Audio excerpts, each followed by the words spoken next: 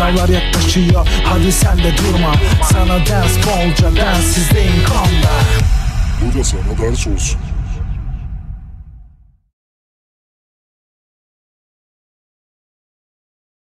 Herkese merhabalar arkadaşlar. Dersi izleyene hoş geldiniz. Ben Adem Ucunuz. İkinci dereceden eşitsizliklerde bugün uzman testimizi çözeceğiz. Birinci soruyla başlıyoruz. Birinci sorumuz şu şekilde arkadaşlar. y eşittir 3x kare artı 5x eksi 4 ve y eşittir mx kare artı x eksi 8. Parabolleri teğet olduğuna göre m kaçtır?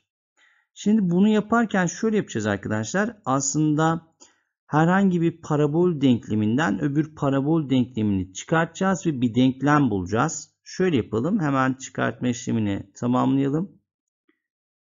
Şu ifadeyi arkadaşlar ifadeden şu öbür ifadeyi çıkartalım. Yani eksiyle çarparsak eksi mx kare eksi x artı 8 ve yeni bulduğumuz arkadaşlar aslında bu ikinci dereceden denklemin teğet olabilmesi için deltasının 0 olması gerekir.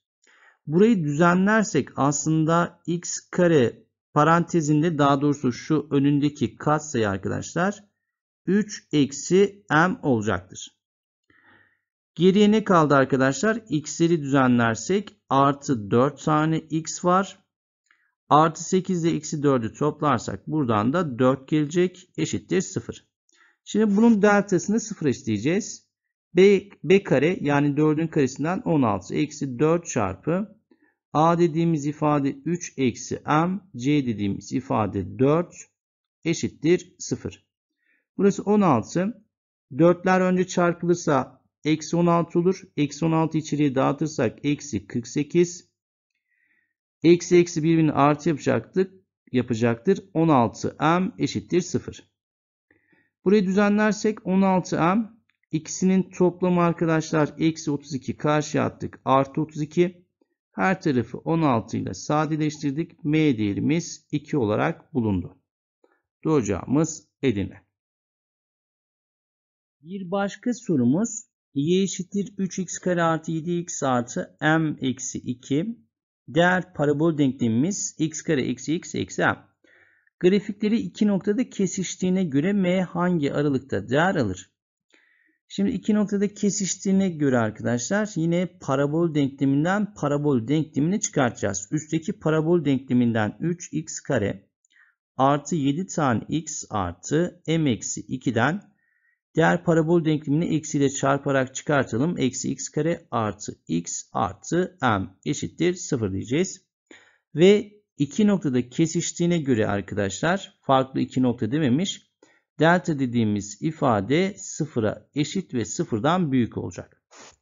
Bu ifadeyi ise düzenlediğimiz zaman 2 tane x kare artı 8 tane x m değerlerini toplarsak 2 tane m sabit sayının değeri de yine bir de eksi 2 var eşittir 0.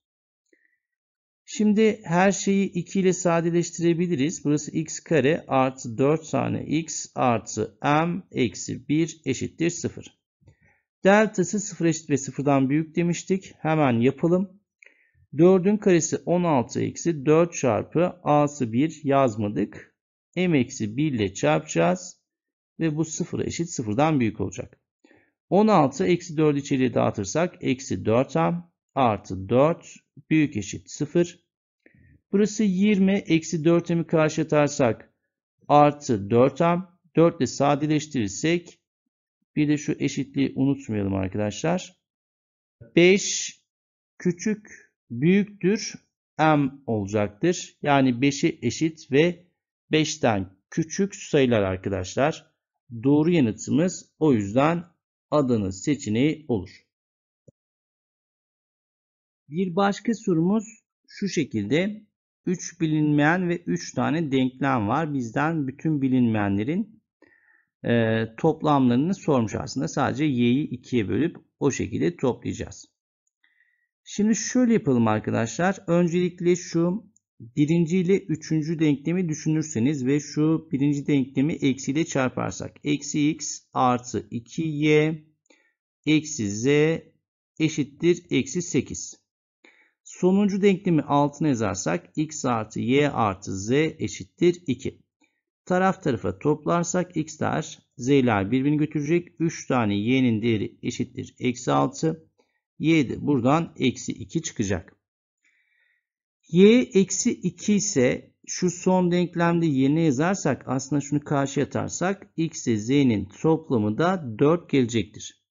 Şimdi biz x ile z'nin toplamını 4 olarak biliyoruz. y değeri eksi 2. Eksi 2 ile 2'ye böldüğümüzde eksi 1 gelecektir.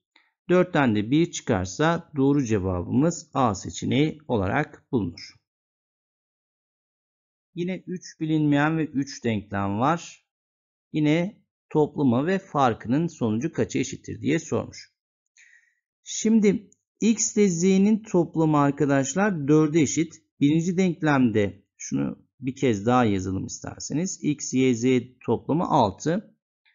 Bize x ile z'nin toplamı yani şu x'in toplamı 4 olduğunu söylediyse o zaman e, geriye kalan şu y değerinin 2 olması gerekir. y değeri 2'ye eşit. Yine aynı şekilde x artı y artı z değeri eşit 6 yazalım. Şimdi y ile z'nin toplamı da 5 olduğundan dolayı şu x'in toplamı 5 ise x yerine de 1 kalacaktır. x değeri 1. x ile z'nin toplamı 4'e eşitti. x ile z'nin toplamı 4'e eşitti. x'i 1 bulduysak o zaman şu z değeri de 3'e eşit olacak. Yerine yazarsak z'miz 3. x değerimizi 1 bulmuştuk. Önünde eksi var. Eksi 1. Y değeri 2 idi. Önünde eksi 2 eksi var. Eksi 2 olacak. Bunun toplamı ise 0'ı verecek. Doğru yanıtımız Bursa. Beşinci sorumuz 2y 3z'nin toplamı 15. 3x artı bir tane y'nin toplamı 12. x, y, z'nin toplamı kaça eşittir? Taraf tarafa toplarsak arkadaşlar hiçbir şey yapmadan 3 tane x 2y ile y'nin toplamından 3 tane y gelecektir. Artı 3 tane z eşittir. 15 artı 12'den 27. Her tarafı 3 ile sadeleştirirsek x, y, z'nin toplamı 9 olarak bulunur. Doğru yanıtımız Bursa. Son sorumuz arkadaşlar. Grafiklerde eşitsizliklerde tarama sorusu aslında. Şekildeki boyalı bölge aşağıdaki kümelerden hangisiyle ifade edilebilir? Şimdi şunu yapacağız arkadaşlar. Şimdi öncelikle şuna göre düşünürsek yani şu parabol grafiğinde taralı alan aslında grafiğin altında kaldığından dolayı normalde y değerinden aslında şu değeri karşı tarafa atarsak eksi parantezinde x eksi 1'in karesi çıkartıldığı zaman grafiğin altında kaldıysa ve şu dahil olduğu anlamına gelir arkadaşlar. O yüzden sıfıra eşit ve sıfırdan küçük olacaktır.